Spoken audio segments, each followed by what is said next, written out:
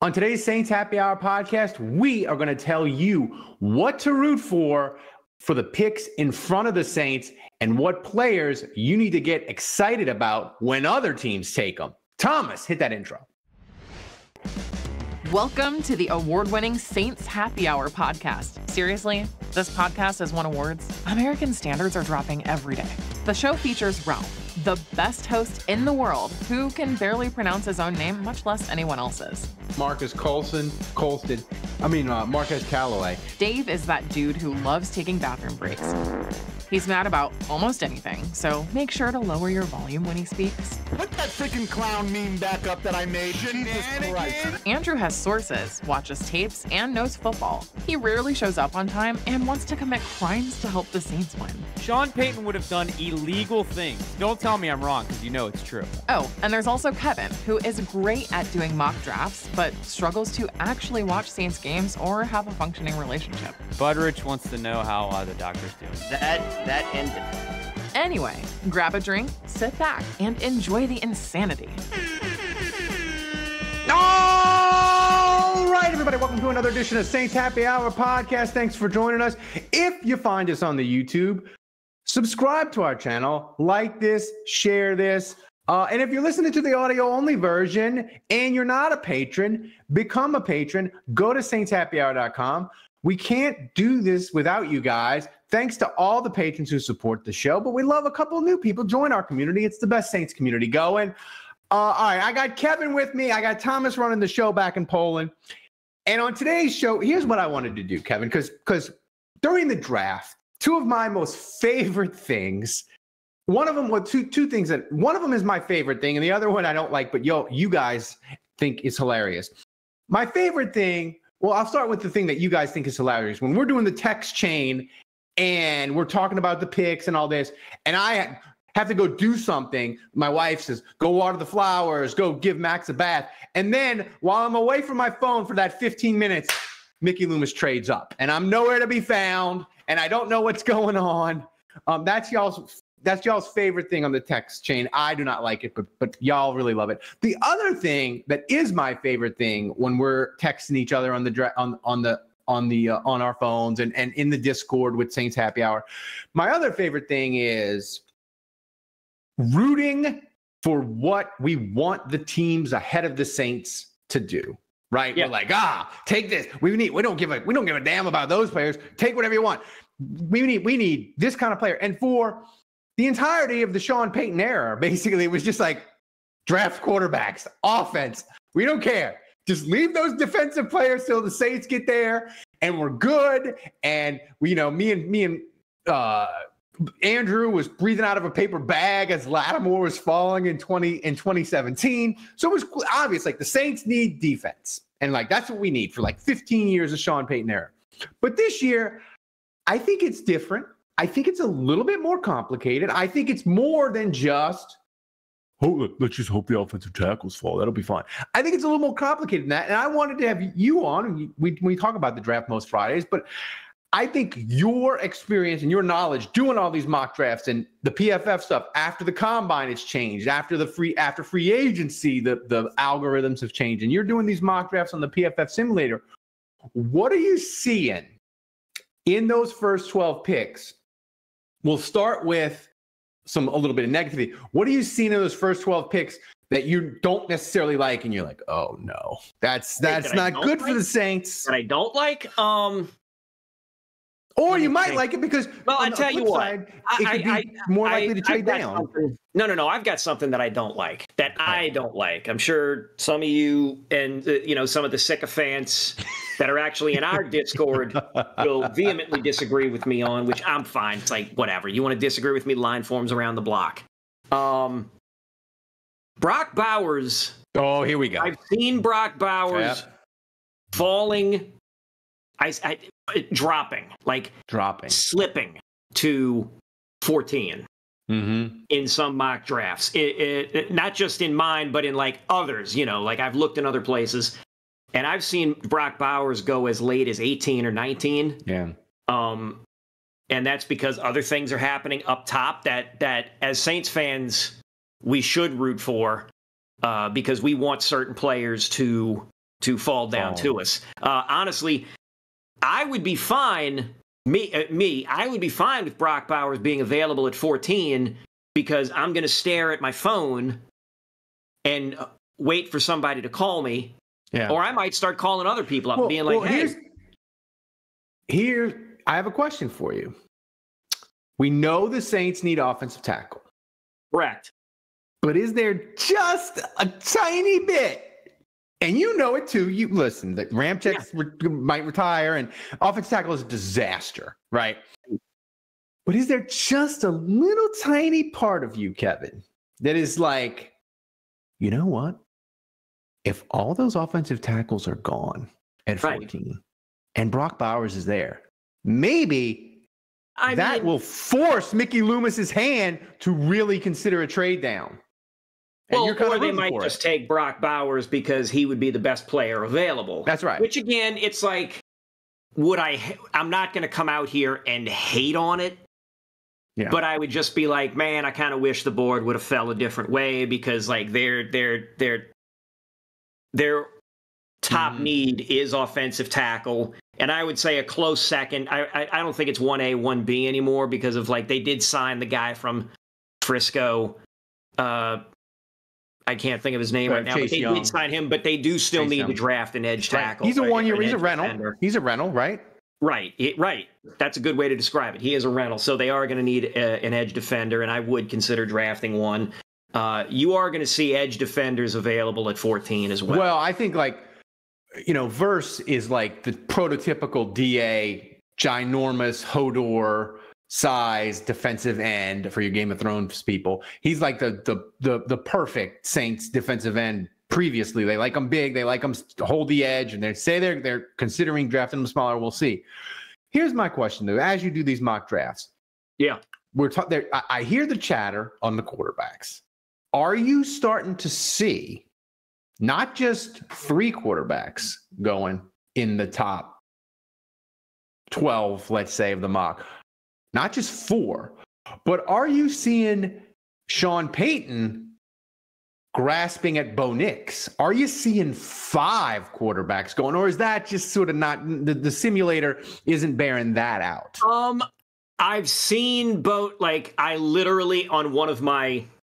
God, I don't even want to count all these tabs open on my uh, computer here, but on just this one window, I should say. I, I have another window, but that's you know for that's Willie's time. Um, yeah, on one of these tabs, actually, Bo Nix is being picked by the Broncos at Yeah. 12. Yeah.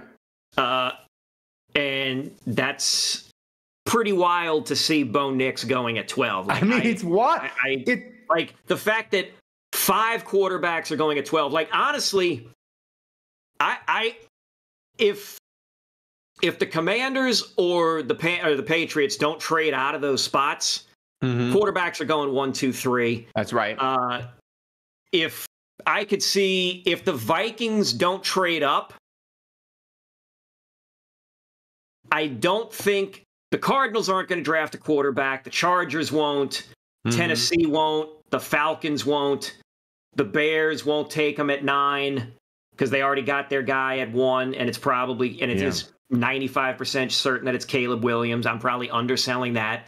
The Jets won't take a quarterback because they they got Yeah. you know conspiracy theorist uh, you know flat earther or whatever the hell. I, I'll I'll just make up conspiracy theories that he believes in. Um, the Immunized. Cardinals maybe, but I could see Yeah. them still rolling Well, with, that's- uh, with with with with Call of Duty guy and just and just picking I up. think they are. I think wide receiver. Kyler Murray was good. Was good when he came back last year. I think. I think that the Cardinals are committed to him. So that leaves the Vikings at 11, which means I've s- I could definitely see them them getting JJ McCarthy. Yeah. So that's four quarterback, which the Saints, as a Saints fan, you should want You four won it. Yes, That's all right. the four quarterbacks to go before 14. I mean, in an insane world, yes, somebody would, you know, the Broncos or the Raiders would panic and grab Bo Nix. I've only seen Bo Nix go But here's the a very small number of times. here here's here's the thing with Denver that I I knew it, but I didn't. I, I, I, I knew it, but I didn't really understand it until I started listening to. I was listening to uh, Robert Mays and Nate Tice their podcast, and they were going through the team. They they go count backs thirty two to, to one, and they go through all the team needs. And until they said it out loud, I didn't realize it. Denver, we should know this because we the Saints have their second round pick. Denver doesn't have a second round pick doesn't have a third round pick. Like they have, they don't, they're like the Saints, man. They have a giant hole where they don't have picks. So like Denver might be in this weird area of like, oh my God, we love Bo Nix. And yeah. we don't have yeah. a pick in the second. We can't. We can't wait for the second round pick and then try to trade up. And we don't like right. any of these. You know. And the thing is, with teams freak out about quarterback in a way they don't about other positions. Right. We're a team. Well, we're right, a team because quarterback is the biggest. Quarterback is the biggest. Uh, the oh, I wish I could think of a good like the a good series of words here for this. The draft is the apex or, mm. or, mm-hmm. or the crux of selling your fan base on hope. Yeah. That's the commodity. You that's the commodity yeah. more than anything. Well, Fan bases across any sport want to have hope. Well, that's it. And the, the thing about the quarterback is, and and and the quarterback fans, is the biggest difference maker, yeah. and the and, thing that can inspire the most hope and, in a fan and, base. And fans feel it, but coaches also feel it. And I'll give you an example. When the Saints drafted Marcus Davenport, or that, that's not a good example because I think of Lamar Miller, but I'm going to say when they drafted Stephone Anthony, right? Terrible pick, a bust, a horrible pick. We don't go back and look at it and say, oh, they should have drafted that offensive lineman instead. They should have drafted this corner and said, no, no, no. But in 2017, the greatest draft in the history of the league, maybe, and the greatest draft unquestionably in Saints history, people still lament. Oh man, they almost got Mahomes. They were ready to tra- they were ready to pick Mahomes at 10 and Kansas City leaped them and we didn't get we didn't get a generational quarterback. And Sean Payton talks about it to everybody on earth. I was gonna I was gonna draft Mahomes. We were ready to do it. I told Drew that he had his two buddies there. I told him I pulled him into I pulled him into the closet and we were gonna draft Mahomes. I told him that it was gonna happen. So here's my thing.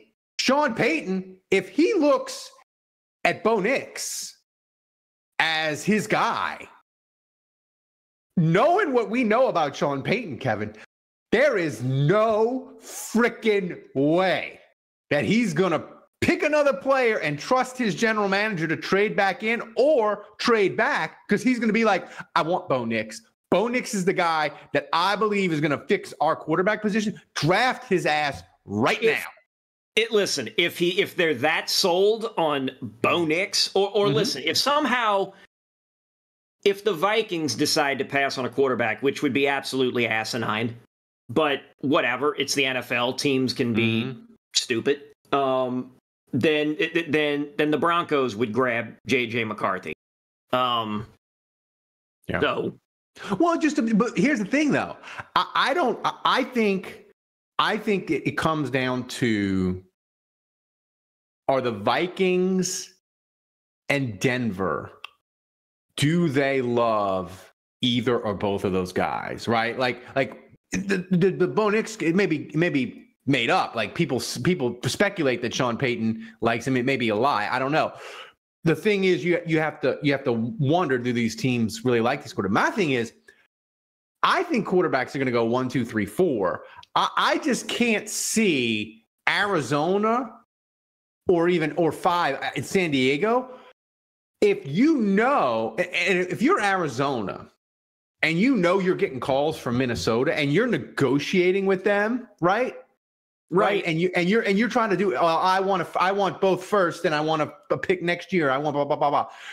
It, it, Arizona, you're kind of stuck in a sense of you 100% know if you tell Minnesota we're not doing the deal and you pick Marvin Harrison, you know that San Diego, Minnesota's just going to call them and offer them the same deal, right? So right. I think I think Arizona is going to be the quarterback spot because they're they're they've traded down a bunch already. They're they're right. They general have managers. they have seven picks in, In the the top 104. yeah. So I seven. This is I- this is literally my wet dream it is. I was for an say NFL like, draft. so I can't see I can't see Arizona not doing a deal for a quarterback because they argued over a 2025 third round pick that they wanted that Minnesota wouldn't give them or something. Like I can't Right. I can't see Arizona not trading out. So uh, so one, two, three, four. But you get Arizona, so they only have six picks in 2025. I could see them dropping back and saying, "Okay, we'll take a later pick, a much later pick, but we need something from 2025." yeah. Like we want your 2025. Yeah, we want we want your we want your we want your third and your fourth or something like we want we want all your mid round picks from Yeah. um 2025. I could that's a that's a great point. The other thing on this draft are and we don't talk about it a lot and we don't talk about it for the Saints because corner isn't a huge need for the Saints. We've talked about offensive tackle, we talked about defensive line and all those sorts of things. I mean, it will be. It will be. There's a couple of corners, maybe three, depending on the, uh, Cooper DeJean or DeJean. We argued about that on the podcast, how to say his name. He's he's kind of all over the place with his rankings. But is is corner? Have you started to see the corners start to sneak into the top 13?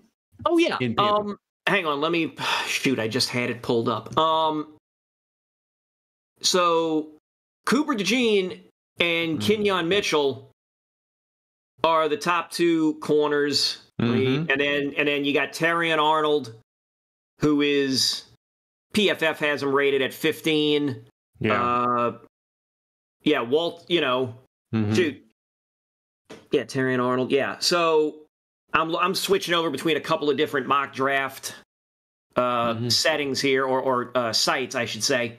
And those three guys are going in the top 15 and even the top 20. I I, I don't think the Saints need to grab a corner with the first, you know, assuming they stay at 14. I am Team, but- assuming they stay at But- 14. But, here's the thing: would as I look at the top, if I look at the top 13, I think Atlanta and Denver and the Ra- and the Raiders could all go corner, depending. Like Denver, I think they they're just as likely to pick Bo Nix to me as they are to pick a corner. And Kevin, See, the, it- here, okay, I tell you, make your point, and then I'll disagree with you. I just see uh, the, the the this like that to me is the dream scenario. If you if I can't have five quarterbacks go in the top 13, give me four quarterbacks, the three top receivers, that's seven, and two corners, that's nine, and alt, that's 10. Now I'm looking that, and then suddenly you're looking exactly how you want it to go for the Saints. I just, I, it, it would, it would surprise me, but it wouldn't totally shock me if Atlanta went corner at eight. Is all I'm saying. A- Atlanta and Raiders both went corner. Could be a very good, very good, good, situation for the Saints. But Mhm. disagree with me. Yeah, so I see. So wait, who's ranked? Who's ninth? Who's ninth here? Because That would well, no, that's supposed to be the Bears. So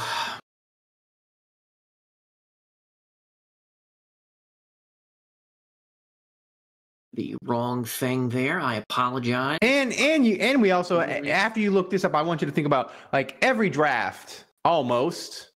There's there's some team that we're like, oh my god, they just traded up for Mitch Trubisky. What what are we doing? Like Right. so, there's So, always some so team doing I'm- something stupid. So the four quarterbacks before the Mm. Saints, you'll, and then also one, two, three, four. You get four, the four wide receivers, the two LSU kids. But you think And- you think Brian Thomas could go top 13? Wow.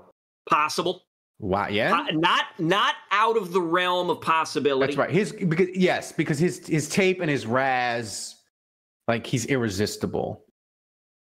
Oh, oh shit. I mean, that's a dream scenario too. You get four So- quarterbacks, so- four so receivers, that- two corners. That's then 10. then Cooper DeJean and Quinyon Mitchell. So that Mhm. puts you at 10. That's right. You get Joe Alt. That's, 11. 11. Yep. Who's the who's the top? Uh, let me get look at the top edge guy here. And May and So Turner. you've possibly Turner. got you've possibly got no, not him, not him, not him. Move down, move down. You got uh Jer'Zhan Newton from Illinois. Yeah, Uh, that's an interior guy. yeah. And then with Edge, where'd he go? You got Dallas Turner, Yeah. Latu. Shit, somebody could reach and take. Uh, and I say reach as in like slight reach. Somebody could grab Byron Murphy, the Yeah. interior guy, and then with OT. So I said Joe Alt, and then you got Flaga Mm-hmm. from where's he? Oregon State. So it's entirely possible that Flaga could be available at 14. Uh, Fashanu, uh, Fountaino, and I'm mispronouncing that. Yeah. The, the the tackle Yeah. from uh, That's three tackles. Right. So you could have three tackles available. Possible that Dallas Turner could be there at edge. Possible. Jared Verse, I think for sure will be there at edge. J.C. Latham, tackle. Nate Wiggins at corner, he'll be there. Like, Here, here's here's a question for you, Kevin. yeah. Oh, I remember. So here's the thing I was going to say before with Brock Bowers. Brock, Bow- yeah, it's possible Brock Bowers could be there at 14. But I think if Brock Bowers slips, I see Denver going after him. Ooh. Listen, Sean Payton That's a- may not have a quarterback, but But ah, you get Brock Bowers at at tight end. yeah. You go grab. I, I I don't know if Tannehill is still available, but you grab somebody like a Ryan Tannehill in free agency, Mm-hmm. and you just have a a, a thing where it's like I'm Mm-hmm. trying to build the team up with the, with the the few draft picks I have, Yeah. and I'll worry about quarterback. Mm-hmm. Like, because obviously, listen, the owners and the management let him Mhm. drive off Russell Wilson. So clearly, they're not going to dump him after 2024. Yeah. So that means they're investing in him for beyond that. So he looks at 2024 like, let me start getting pieces in place Mm-hmm. and get some. And and if Brock Bowers falls, or if one of those, if one of the top wide receivers falls to him, Yeah. I can see him grabbing that Yeah. and Here- saying to hell with quarterback. I'll I'll sign a free agent. I'll draft one later. Uh, you know, in the later rounds. Uh, you know, whatever. Here, here's my question. We- Listen, I, and I know people will scream at us. The Saints never trade down. They're never going to trade down. It's never going to happen. Well, I want it to happen. So there. I want it to happen. But, but so here's my question. Let's say it all goes swimmingly for the Saints, and they're there at 14, and they've got three of those tackles, whoever they are, not alt, whoever whoever the top. Let's say it's the three of them, right? And let's just say the Saints, they won't grade them all the same, but let's say the Saints are comfortable with all three of them. And they're like, we got them similar, they're similar grades, they're in the cloud. So we got three tackles that we Right. are very comfortable with at 14. And you're Mickey Loomis, and you got calls, and teams are saying, hey, we, we want to move up. We want to move up. How far, if you're Mickey Loomis and, and, and you're not Kevin, you're Mickey Loomis and you hate to trade down, but you got three tackles. If you're Mickey Loomis, how many spots would you be willing to trade down and believe you can still get one of those three tackles Oh. and get a pick? How how far would you be willing to go? You're not Kevin, but you're Mickey Loomis. Yeah. How far do you think? Yeah, me, I would trade down to 32 in Yeah, the first round and just and just and stockpile, stockpile, stockpile. Man. But Mickey Loomis and doing that, uh hang on, let me pull back up. So let's is it possible that Flaga could also and uh, I'm I'm who knows if I'm mispronouncing his name. Mhm. Uh is it possible he drops down too? I'll say for this exercise, he does not. So him and Alt are already gone. So that would Mhm. leave Fountaino, Fashanu, Latham. Mhm. You got Mims. Graham Barton's listed as a tackle. Yeah, but those are. I I've think. I think told- that. I think those. guard center. I think those are the, like the second tier guys. So I So- think you, you got three guys there. Okay, so so Fountaino, Fashanu, and Latham. Mm-hmm. And you want to say how far back could you go? I think the furthest back I would consider trading would be 17 or 18. So that's the Jaguars or the Bengals. Yeah.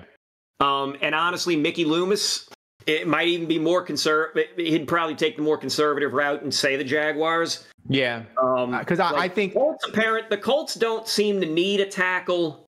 Seattle doesn't, but they need interior guys. Could they look at one of those guys as, hey, we'll play him on an interior. If one of these two rookie Yeah. tackles that we drafted two years ago doesn't Yeah. work out, we could bump Right. him out. And then Um, the Jaguars, same thing. They need a guard and a center. So that's why maybe trading to the Bengals would not be the best option. So well, the well, the thing is, I, the I would. if you're looking to grab one of those three guys that we mentioned, then the Yeah. Jaguars might be your safer of the bets. Well, here's the thing too. If you just trading from 14 to 17, I could probably get you to like Mickey Loomis could play hardball. I bet you you could get a top hundred pick for you know like You if the Saints 96. You can get 96 from Like- the Jaguars. to me And 116. You can even get your own pick back. Yeah, like I, I- like to me, that's perfect for the Saints because then you you're either getting you're getting you now have three in the top hundred or or or, or three in Yeah. the top. Yeah, you uh, have three in the top 100. Yeah, And then I plus, just- and then plus I got 116 from them. So now I've got four in the Yeah. top uh so I got three in the top hundred and then a fourth one at 116. Yeah. So yeah, I, I So- thought I was gonna have something So back to our original thing that we started this podcast on: what to root for if you're a Saints fans. You want you I want quarterbacks. You want all I- you want four, if not five quarterbacks. I think five is unrealistic, but you want four quarterbacks to go before you want you, you want Marvin you want you know you want Harrison to go. You want Nabers to go. You want somebody to reach for one of the edges, whether, whether that's Dallas Turner or, or whoever. You want them to go. You want uh, Rome Odunze to go. Yeah, he's gonna go too. I think that's I, three you know, if you want to root for Bryant, for somebody to like go ham for Brian Thomas and grab him, sure, but that's uh, Mhm. that's unrealistic. Two of the corners at least, yeah, and then uh, you know one of the other tackles. So that would be Fuaga. yeah. Yeah. All right, we're gonna get out of here. What's fun? I- what's I- funny is what's funny is all of this. We're doing all this talk, and I'm seeing more and more mock drafts or projections where it ends up just being Olu Fashanu at 14. Yeah. Which hey, That's happy as, good. I- I'll be happy as a clam I, with that. I just look at him, Kevin. I just look at him as major school. RAS is very, very good. Played a ton of games. Like he just feels like a very saintsy pick and a pick where when they pick him afterwards, they're going to be like, he was top six on our board. And it won't, and, and, and, you know, teams are like, we couldn't believe he was there. But I really believe it's a thing where he's a guy could be, I, I- he, could be very, very high on the Saints draft board. And I wish we don't have our sources, our sources on as good. Um, where we know, like, I just, I feel like he could just be a guy where the Saints would be like, we're, we're not trading shit, you know? But, Yeah. but my, fi- my final question, and then we're going to get out of here for you sure. set me up the scenario that not because we we we've always said it we don't think the saints will trade up but but set me up the scenario where if the saints are at 14 and they don't trade down it would drive you absolutely bananas and you'd be like if they're not trading down this uh, like this is the perfect scenario for you to trade down Mickey Loomis and you're not okay I, like it's never it's The never only thing- happening as long as you're running the Saints. The only okay, so so you mean what would be the scenario that would drive me insane? Yes. I mean, look, if Brock Bowers dropped to 14 and and we fa- but this would be an after the fact. If we found out there were a few teams calling them Mm-hmm. and Mickey Loomis just was like, "No, not interested." I would be annoyed. I think the thing that would make me like that would drive me nuts and and I joked about it on the big show That's right. I said if Jayden Daniels falls to 14, I'm I'm I'm throwing my phone out of my house. Like I'm just I'm opening a window and just chucking it because Saints Twitter is going to eat itself because they're not going to take I'm saying they're not going to take a quarterback at 14, but then if he's if the if one of those quarterbacks falls to 14 like that's that would have to be the best player on the board Yeah. and so then it just becomes this this thing of well if they take him i look at that as as almost a waste because they're not getting rid of carr like they're just That's not right. they put they Yeah. put too much money in him to just get rid of him and you're going to have it's it would be a huge distraction with Mhm. whoever the quarterback would be uh backing him up from the first you know I wonder. first overall pick from your team in the first round, it would be too much of a distraction, I mean, especially I- when the team has so many other needs. I wonder. I wonder for Jayden Daniels to fall to 14. I wonder what kind of felony would he have to commit where Saints Twitter would still be we would be understanding that the Saints aren't taking him. Like if he if he like if they're like, hey, Jayden Daniels, he murdered a hobo. We uh, he's we, it's it's alleged. Would Saints Twitter be like it's possible murder? You can't take him at 14. I don't think they would. I think they'd be like, take him. Like there's, I don't think there's any crime, any any scenario where Saints Twitter would be okay with the Saints not taking him at 14, but that's not going to happen. Um, uh, just to find another, uh, you know, this exercise, and I promise this is the last thing, Kevin.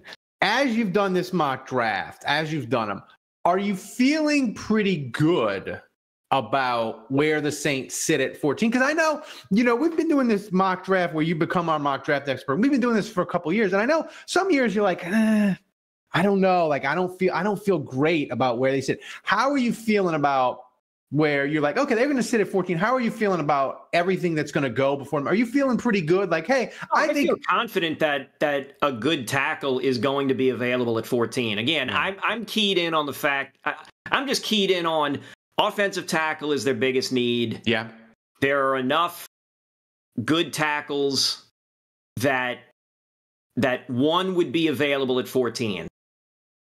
I think the there's a slight mm-hmm.